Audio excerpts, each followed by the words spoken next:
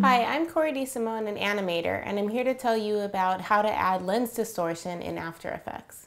The first thing you do is bring your image into After Effects, import it, and then you can go to Effect, Distort, and then CC Lens and apply that to the image that you want to distort.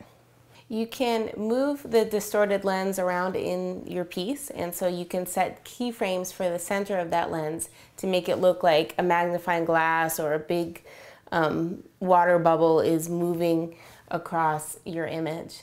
And so that's what I went ahead and did is set a bunch of keyframes for the center to move that bubble around. So from here you can really play with it. So that's how you set lens distortion in After Effects.